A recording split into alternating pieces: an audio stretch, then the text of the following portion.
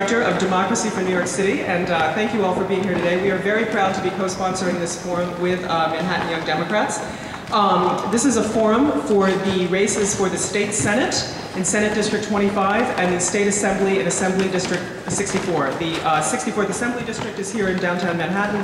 The 21st, uh, 25th, excuse me, State Senate District covers downtown Manhattan and parts of Brooklyn. Um, so I'm very excited that we could get together and have this forum today and, and, two of the most exciting Democratic primaries that are, that are happening in this state.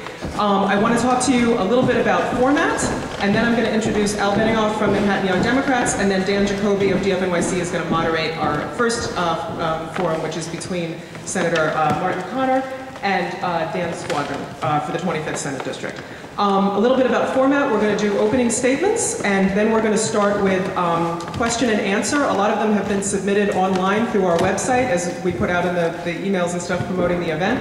And we also have cards. People are passing around index cards. Um, if, if, you want to ask a question, find somebody, you know, some people, we're starting with the index cards in the front and passing back, and I think we brought enough. So feel free to put your question down on a card, and Al Benioff is going to walk through and take your questions up to Dan uh, to ask them. Um, then after that, we're going to have question and answer between the candidates. So uh, each candidate will get to ask the other one a question, and then we're going to have brief concluding statements. So I'm going to sit over here and be the timekeeper.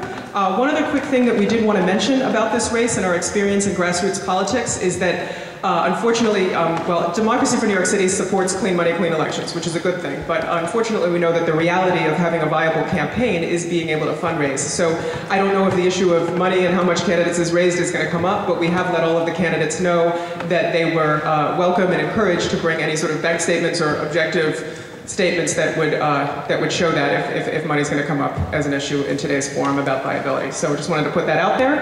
And uh, without further ado, here's Al Benioff from Manhattan Young Democrats.